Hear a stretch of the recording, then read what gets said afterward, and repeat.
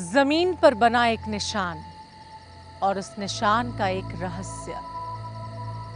एक ऐसा रहस्य जिसका सच आपके अंदर भावनाओं का बवंडर खड़ा कर देगा। यूँ तो इस निशान का आकार इंसान के बाएँ पैर की तरह नज़र आता है। लेकिन इसे भगवान का निशान कहा जाता है। नमस्कार, मैं हूँ नमिता सचदेव। माया लोक में आपका स्वागत है।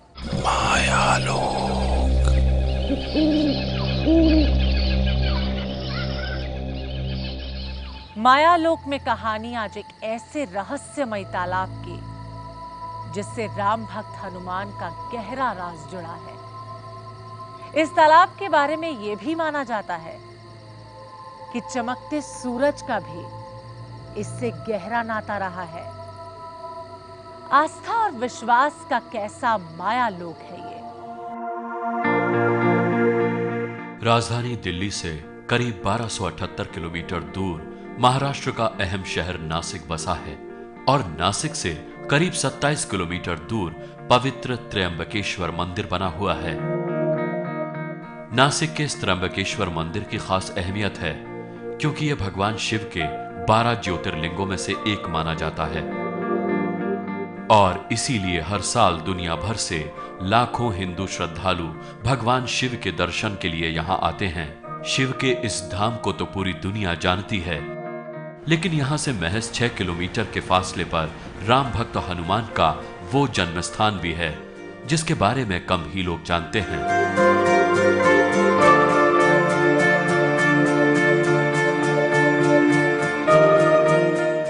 नासिक त्र्यंबकेश्वर हाईवे से सटा ये वो अंजनेरी गाँव है, जिसका नाम हनुमान जी की माँ अंजनी देवी के नाम पर रखा गया। ऐसी पौराणिक मान्यता है कि इस अंजनेरी गाँव के पास ही ऊँची पहाड़ियों में हनुमान जी का न सिर्फ़ जन्म हुआ, बल्कि उनका पूरा बचपन भी यहीं गुजरा। और इन्हीं पहाड़ियों से हनुमान जी ने सूरज को निगलने के लिए आसमान में लंबी छलांग लगाई थी। हनुमान जी बच्चे में बोले, हमें भूख लगी है कुछ खाने को। तो अंजनी माता को उस समय बंदर का रूप होता है। तो वो बोलते हैं, अभी क्या खिलाएँ? तो ये पेड़ का, ये पायर का पेड़ होता, पीपल जैसा। तो इसमें लाल फल हनुमान जयंती के टाइम चैत्री में आते, पकते हो। तो ये बंदर वंदर सब खाते उसको। तो इसलिए वो फल खाने के लिए बोले तो सामने से सूर्य आ रहा था, पैदे होते समय। पैदे होने के बाद लगे जो सूर्य को खा गए पकड़ लिए फल समझ के। अंजनेरी गाँव के बाहर ही हनुमान जी की विशाल मूर्ति वाला ये मंदिर बना है। हमारे सफ़र की असल शुरुआत भी इसी मंदिर से होती है। हमें बताया गया कि इस जगह से मंजिल, यानी हनुमान जी के रहस्यमय तालाब तक पहुँचने के लिए हमें ऊँची चढ़ाई चढ़नी पड़ेगी। तीन पहाड़ों को भी पार करना होगा। हनुमान जी के जन्म स्थान तक पहुँचने के लिए जंगल के बीच करीब तीन घंटे तक पैदल सफ़र तय करना पड़ता है। यहाँ से ऊपर जाने के लिए कम से कम तीन पहाड़ी आप लोगों को चढ़ के आगे ऊपर चढ़ान क्रॉस करना पड़ता है। जब हम सबसे पहली पहाड़ी क्रॉस करते हैं तो वहाँ पे मतलब गाड़ी की वगैरह सुविधा आप वहाँ तक जा सकते हो।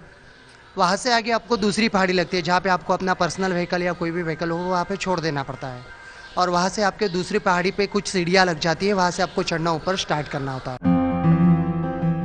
हनुमान जी के मंदिर से निकलकर हम अंजनेरी गाँव में पहुँचे, जहाँ से पहाड़ पर चढ़ाई का रास्ता खुलता था। ऊँची पहाड़ियाँ, कच्चे रास्ते और साथ ही जंगली जानवरों का खौफ। बारिश का मौसम हो तो इस गाँव का सफ़र और भी ज़्यादा मुश्किल हो जाता है, क्योंकि जिस जगह हमें पहुँचना है, वो समुद्र की सतह से करीब बयालीस सौ फीट की ऊंचाई पर है। हमने अपनी कार पहले पहाड़ पर चढ़ने के बाद छोड़ दी और आगे का सफ़र पैदल ही शुरू कर दिया।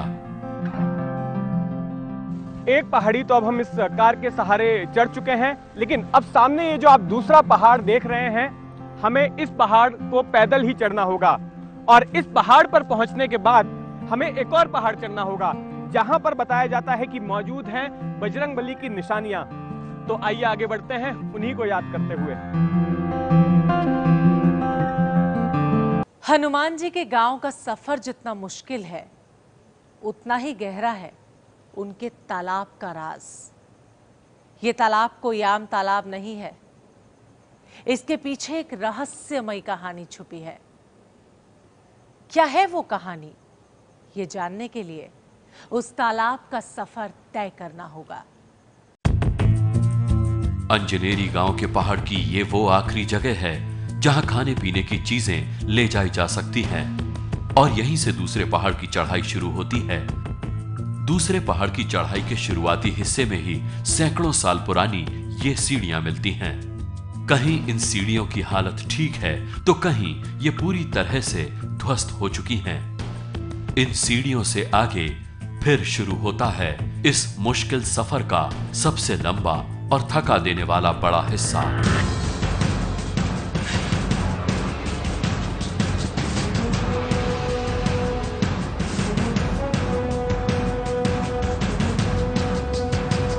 आगे की चढ़ाई अब हमें बड़े ही संभल कर करनी होगी, क्योंकि बारिश के मौसम में ये रास्ता बड़ा ही फिसलन भरा हो जाता है। अगर जरा भी पैर फिसला तो गए सीधे कई फुट नीचे, और बचने की कोई उम्मीद नहीं।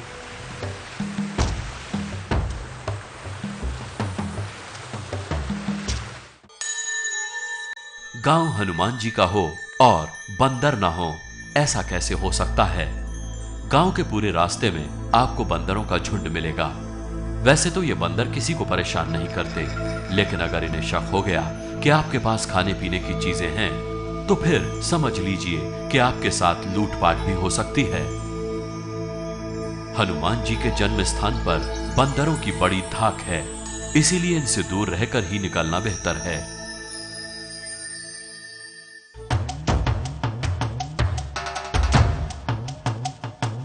चढ़ाई करते वक्त हमें रास्ते में ये कुछ प्राचीन गुफाएँ नज़र आईं।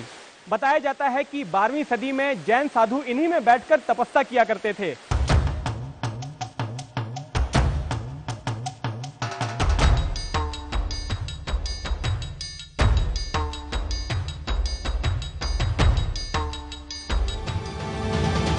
पहाड़ पर करीब दो घंटे की चढ़ाई करने के बाद हम इस रहस्यमय तालाब तक पहुँच गए।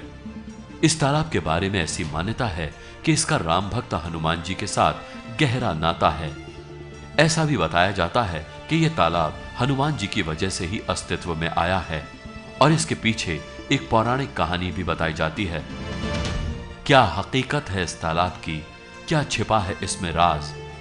ये जानने के लिए हमें अभी एक और, यानी तीसरा पहाड़ भी चढ़ना होगा। हम वहाँ जाएँगे। उस ऊंचाई पर, जहाँ से इस रहस्यमय तालाब का टॉप एंगल व्यू भी आपको दिखाएँगे।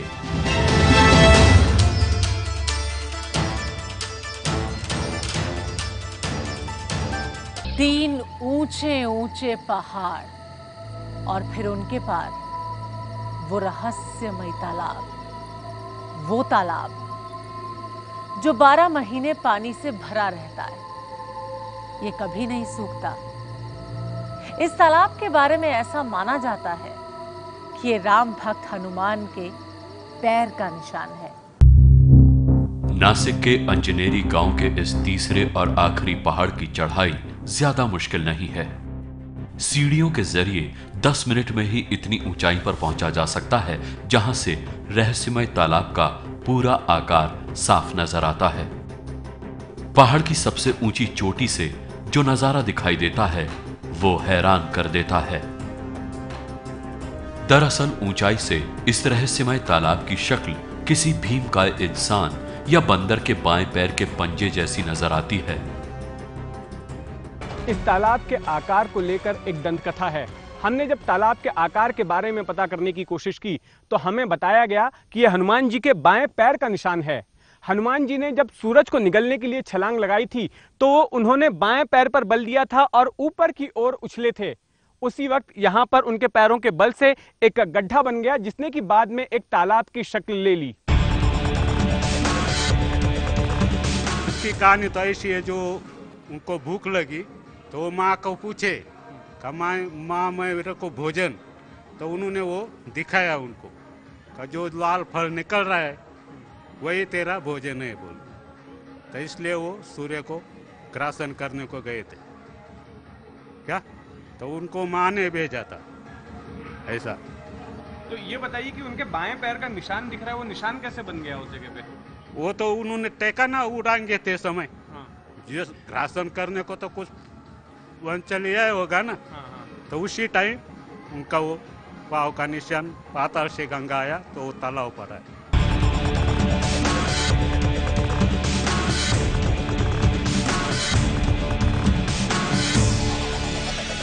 धार्मिक कथाओं के मुताबिक, जिस वक्त हनुमान जी ने सूरज को निगलने के लिए छलांग लगाई थी, उस वक्त सूरज उग ही रहा था। यानी कि उन्होंने पूर्व की दिशा में छलांग लगाई होगी।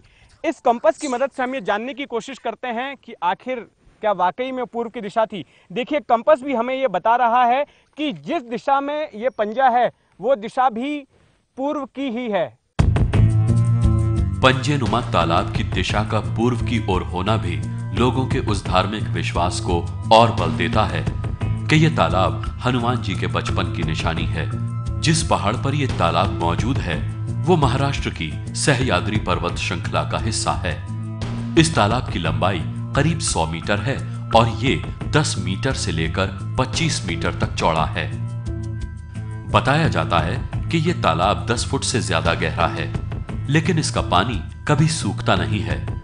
और गर्मी के महीनों में भी ये तालाब पानी से लबालब भरा रहता है। तालाब में पानी बारह महीने रहता है। तालाब का पानी ठंडा और निर्मल और साफ़ सुथरा रहता है। गर्मी के महीने में जैसे और जगहों पर तालाब सूख जाते हैं तो क्या ये तालाब भी सूखता है? नहीं ये तालाब नहीं सूखता। ये तालाब में बारह महीना हमेशा पानी रहता है। ये सूखता नहीं है। यहाँ पे पानी अच्छा खासा है ठंडा रहता है गर्मी में भी पानी। बारह महीने पानी ठंडा रहता है उसमें। हनुमान जी के पैर का निशान जितना मायावी है, उतनी ही मायावी इसकी कहानी भी है। अंजनेरी गाँव का सिर्फ़ ये तालाब ही नहीं, बल्कि यहाँ पर कई ऐसी निशानियाँ भी मौजूद हैं, जिन्हें लोग आज भी हनुमान जी से जोड़कर देखते हैं। अंजनेरी गाँव में इस तालाब के पास ही एक छोटी सी गुफा भी मौजूद है। यहाँ लोगों का मानना है कि इसी गुफा में अंजनी माता ने हनुमान जी को जन्म दिया था। बंदरों के राजा सुग्रीव से जुड़ने से पहले हनुमान जी का बचपन इन्हीं पहाड़ों पर मौजूद जंगलों में गुजरा है। तालाब के पास ही दो छोटे छोटे मंदिर भी हैं। एक मंदिर में रखी मूर्ति में नन्हे हनुमान जी अपनी माँ अंजना की गोद में बैठे हैं तो दूसरे मंदिर में बालक हनुमान जी माँ अंजना की मूर्ति के बगल में बैठे नज़र आते हैं। हनुमान जयंती के मौके पर इन मंदिरों में भारी भीड़ होती है। पूरा सभी भी जो पुराना है अठारह पुराना है, इस सभी पुराने में यह ये स्थान का उल्लेख आता है और ये वैसी आधार से सभी पुराने में स्पष्ट लिखा है कि ब्रह्मगिरी त्र्यंबकेश्वर के बगल में, ब्रह्मगिरी के पास में ये ऋषिमुख पर्वत पर अंजनी माता तपस्या करती थी और यही, इसी गुफा में अंजनी माता ने तपस्या की है और बगल वाली जो गुफा है, इसी में हनुमान जी का जन्म हुआ है। तो ब्रह्म पुराण हो विष्णु पुराण हो वाल्मीकि रामायण, सभी इसी में, सभी ग्रंथों में ये, इसी स्थान का ज़िक्र किया गया, ज़िक्र किया गया है। नासिक के इस अंजनेरी गाँव को राम भक्त हनुमान का जन्म स्थान माना जाता है। लेकिन हनुमान जी के जन्म स्थान को लेकर विवाद भी रहा है। अंजनेरी के अलावा गुजरात के डांग ज़िले में अंजना पर्वत की अंजनी गुफा को हनुमान जी का जन्म स्थान माना जाता है। इसके अलावा हरियाणा के कैथल और झारखंड के गुमला ज़िले में अंजन गाँव की एक गुफा को भी हनुमान जी का जन्म स्थान कहा गया है। ऐसी मान्यता है कि इसी ज़िले के पालकोट प्रखंड में बाली और सुग्रीव का राज था। ऐसी धारणा भी है कि हनुमान जी कर्नाटक में पैदा हुए। पंपा और किशकिंधा के खंडर अब भी हाम्पी में देखे जा सकते हैं। हनुमान जी के जन्म से जुड़ी हकीकत, चाहे जो भी हो, लेकिन अंजनेरी गाँव के लोग यहाँ मौजूद तमाम निशानियों को हनुमान जी से ही जोड़कर देखते हैं। कथा, कहानियाँ और विश्वास। विश्वास एक तालाब पर और उस तालाब के आकार पर। आस्था और विश्वास का कैसा माया लोक है ये। माया you.